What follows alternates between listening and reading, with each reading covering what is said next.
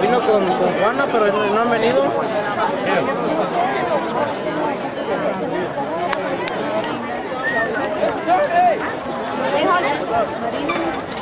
Oh, no, no, no han llegado aquí.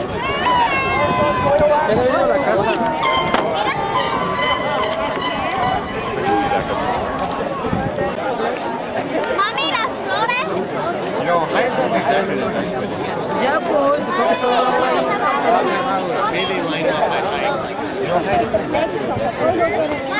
Just think about it.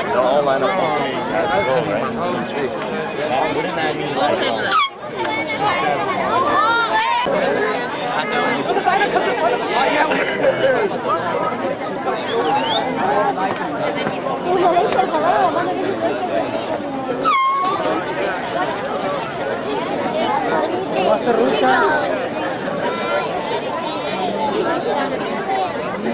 ¿Ves?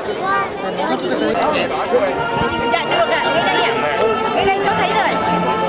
Dạ.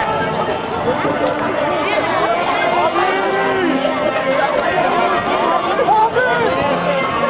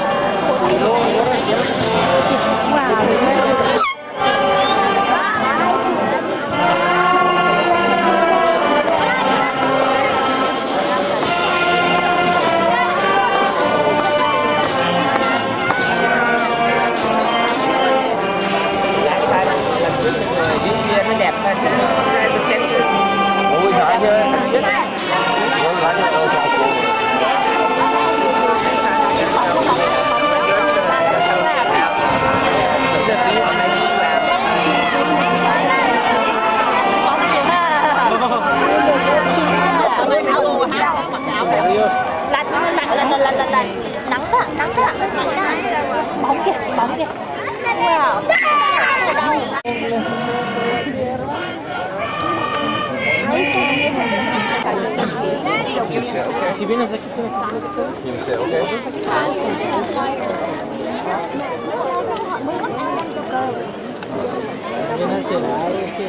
have someone.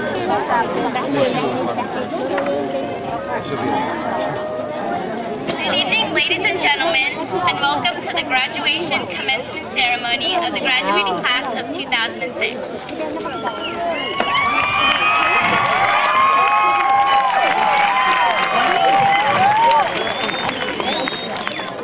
As the Associated Student Body President, and on behalf of the class of 2006, I would, first and foremost, like to welcome all family and friends on this very special occasion. Among the many people here tonight, I would also like to welcome a member of the Board of Trustees, Mr. Homer Tong, as well as the Superintendent of the Fremont Union High School District, Dr. Stephen Rowley.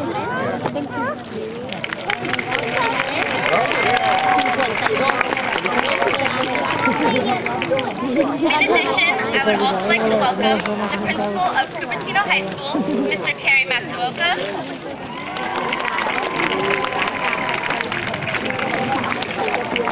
as well as the rest of the Cupertino High School staff.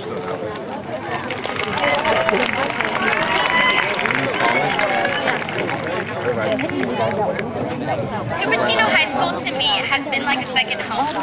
It has presented me not only with a valuable education and tremendous opportunities, but also with lifelong friendships and experiences. These past four years at Cupertino have truly been an unforgettable journey Ya se murió that words can't possibly describe. With that said, as a class, we have traveled down this winding path together, and now we have reached our final stop. From the bottom of my heart, there isn't a group of individuals that I would rather share this very moment with than you guys, the class of 2006.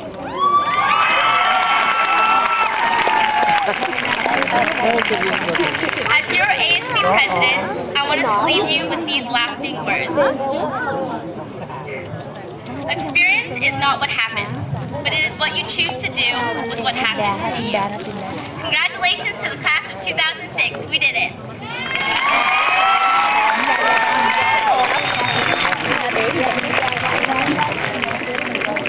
Now I would like to introduce student speaker Stephanie Murphy.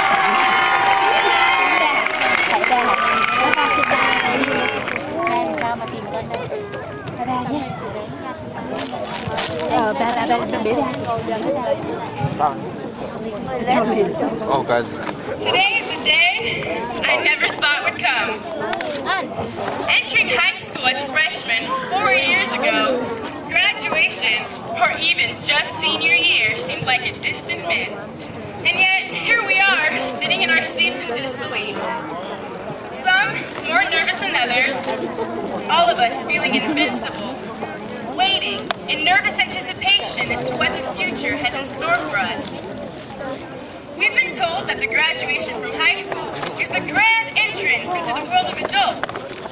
But I'm standing here thinking, wait a second, I'm still a kid. Four years really just went by, and now I'm supposed to be a mature adult?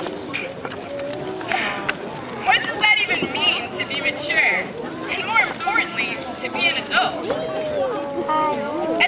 Beginning of this year, I thought it meant getting my first car, applying for college, going to senior prom. But actually, an experience I had this year as a tutor for freshmen taught me what maturity really is. You see, working with 14 year olds has reminded how and optimistic young people are, myself included. As we sat in our circle every day to start tutoring, I would ask them what they were up to, and they would tell me of some Juliet project or pig dissection in biology. But eventually, they would tell me of some of their worries growing up, expecting me to tell them it was all going to be okay. And I would stand there thinking, I feel exactly like you guys. The same worries, fears, just dressed in different clothes. There was one student who would come in my group every day and ask, What's the meaning of life? And although he said it jokingly, I now have to say, well, it was you guys that taught it to me. Aquí la botana para el chicle. They weren't afraid to be kids, to be young, which means to be able to make mistakes and ask questions about them, to be able to take the pleasure life offers in the moment it is given. As graduating seniors, can we say the same? Have we taken the pleasure in life and stayed true to our young spirit?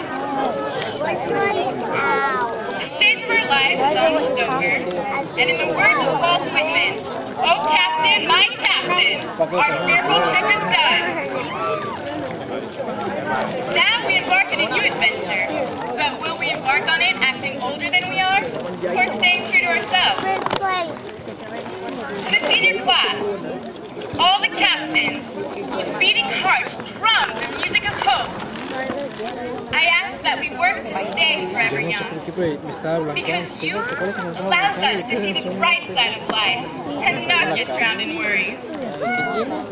After all, though high school will be nothing more than a memory, we would not have been the same without it. We would not have met the same people and friends we hold so dear. And I'll always remember the class of 2006 as Valiant Knights, superheroes, some Batman, Superman, perhaps even Spider-Man.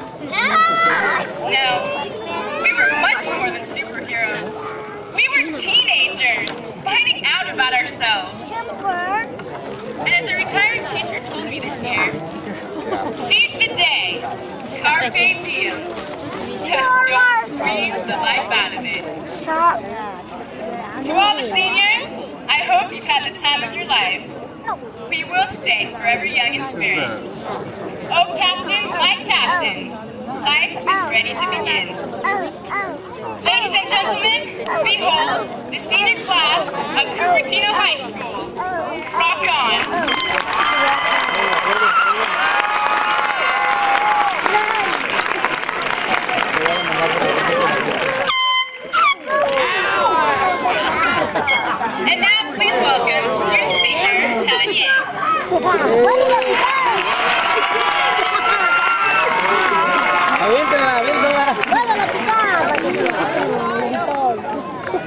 El cerebro.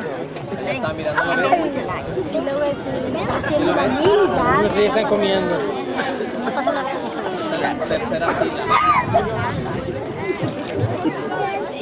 Good evening, ladies and gentlemen, my graduates.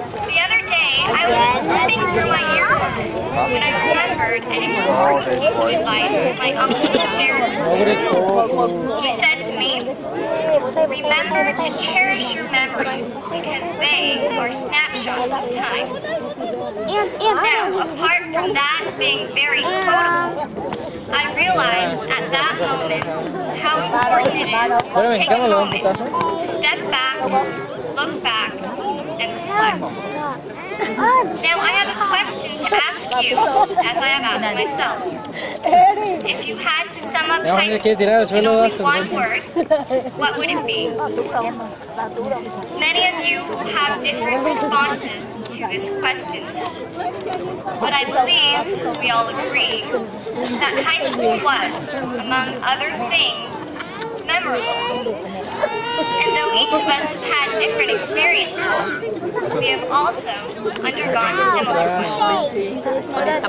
For example, class of 2006. Do you remember dressing up in tights and wigs for a reenactment of Romeo and Juliet? Do you remember those all-nighters we pulled? The joy and horror of AIM, Xanga, and MySpace? Uh-huh. Perhaps you recall those lunches slated for Starbucks, happy sacks, Chipotle. Everybody says You remember the first. The first time you ditched class and got a call home. The first time you drove. The first time you fell asleep in class. Or the first time you attended a formal dance. And how can we forget the first time we heard Mr. Hormatz's turtle story?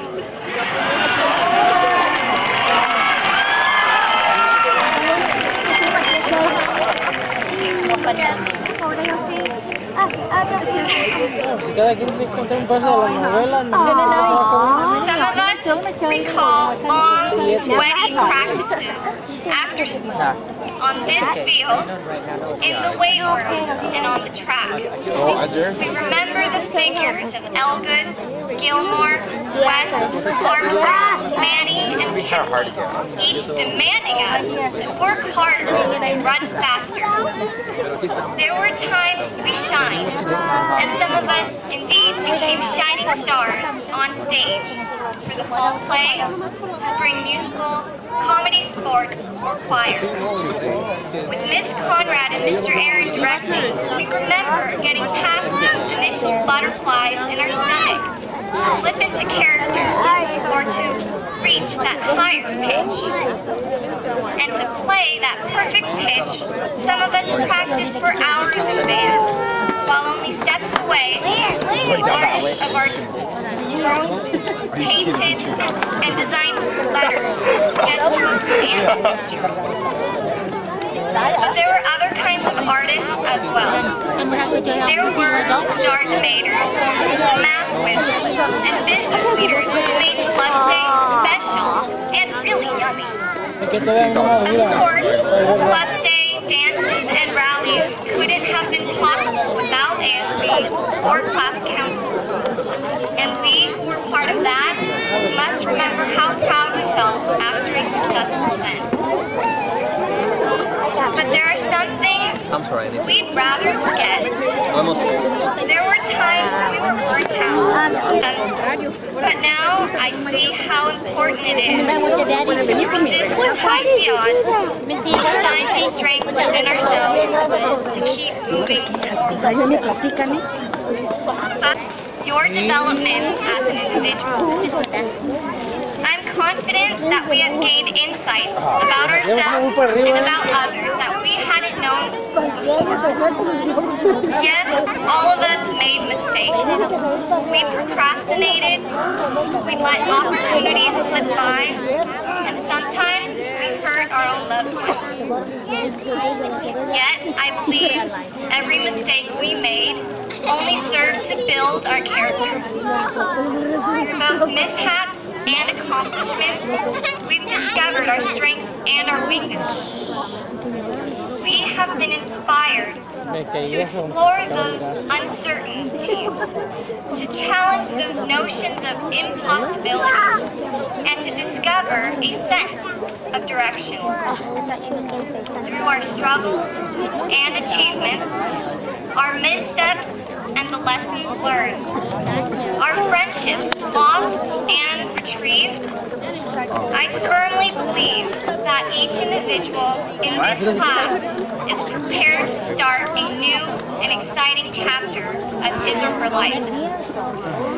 Parents, teachers, administration, and most of all, class of 2006, I congratulate you and I wish you the best of luck in all your endeavors. Thank you.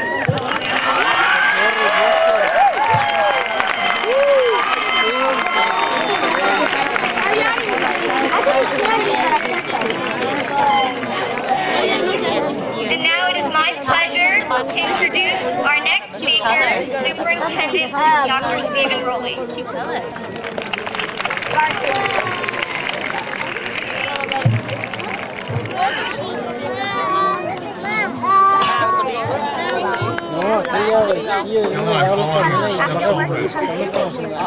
Greetings to everyone.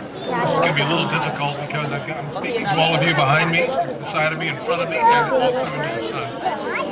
I'm really honored to be here to speak to you on this wonderful occasion. It's a thrill to see so many family and friends out this evening, and I want to offer a special thank you to those of you who came so far to see your graduates today.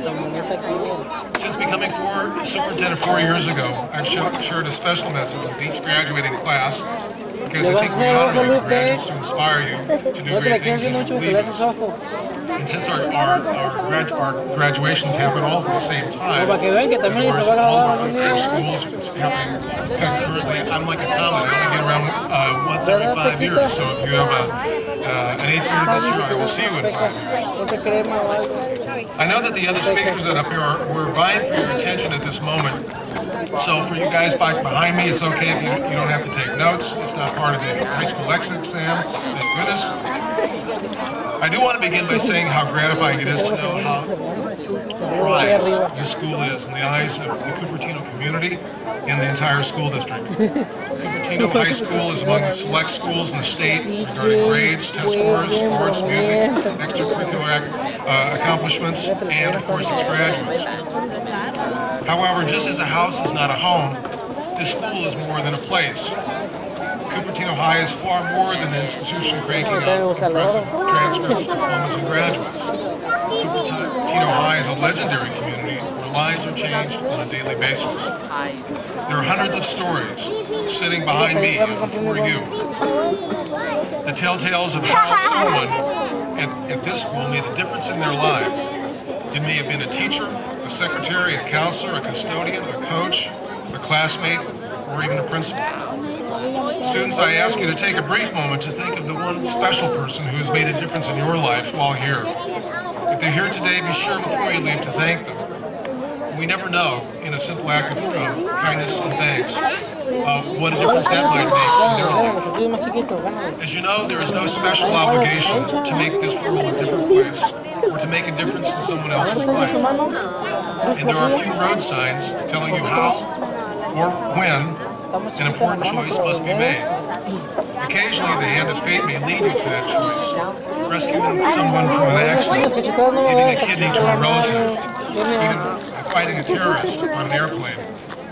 But most often, the opportunity to make a difference is not so dramatic, not so apparent. Finding compassion in a single moment of anger, looking for compromise in the face of adversity, loving without calculating the return on your gift. These are opportunities to make a difference by being different. The teachers, fathers, mothers, and grandparents watching you graduate today, students, uh, will tell you there's a lot of time ahead of you to have fun, to embrace life, to make mistakes, to create your own reality, and surprise yourself who turn out to be. Will also this great abundance of time flows so very, very quickly. I want to thank all the moms and dads who gave so much of themselves and to school in getting your son or daughter here in one piece today. Some of you probably didn't think it would happen either. Uh, following today's ceremony, you can look forward to becoming a expert in the eyes of your kids. What a relief. Ask somebody out here. Regrettably but understandably, we know that your children will for a while continue to believe that your bank account is endless, and you really do want them to live with you forever. Or at least until they become the next American Idol. We must be tolerant of these youthful uh, delusions. I'm sure uh, we adults would all love to cling to our own adult fantasy. The IRS is our friends, we'll lose weight by just thinking about it, and we look just as good as we did in 1996. But to show you that even the wildest dreams, pay attention, please, that the wildest dreams can come true, I was today in my at my computer looking at a graduation speech I wrote years No, pero para ago después for estómago no high school's nada, es la graduation. In that speech, I shared my pathetically impossible dream by saying, and I quote, In fact, I am convinced that Sharon Stone will be whisking me away in a private limo immediately after the ceremony. A complete fantasy, right? Well, I hate to brag, but I will. Notwithstanding the limo, but I actually am having dinner with Sharon Stone tomorrow night in Los Angeles. She's over there. She's Really and truly, I am. Hurry, hurry. You might She's over there. Just because there's another 200 people with me at the time is not going to get in my way into having a conversation. They're just a distraction anyway. So, see, anything is possible even for superintendents. Let me conclude by saying what many graduation speeches often do. We remind our graduates that some parts of the adult world that you are about to enter are not pretty. And it is poignant as an adult to know that my generation hands to your generation. Went down and now in the field. And the one we inherited. She went out in the field. None of us have the complete answers to the the big questions. Muốn xuống không? Problems of disease, problems of poverty. Just jumped up and down. But I am a believer that we can each begin to solve big problems in small but important ways. Only when each of us finds the courage to take risks, keep dreams alive, and act as No, leaders porque no do. gusta la gente, ¿cómo se dejaron? Being a leader means walking a path that others choose. Being a leader means saying, I can, rather than asking, what happens if I don't? Being a leader means believing you can make a difference by being fearless, creative, and intentional. Twist my body over. It is my wish uh, to all the students, each find inspiration, become leaders in whatever you do, and wherever you are. It is a big deal. It's a very big deal. The world depends on you to make a difference. In closing, I congratulate each of the graduates, all of you, for your hard work and great success. We're also very proud of you. Enjoy this moment. There will never be another day like today. Many thanks to you all and good luck.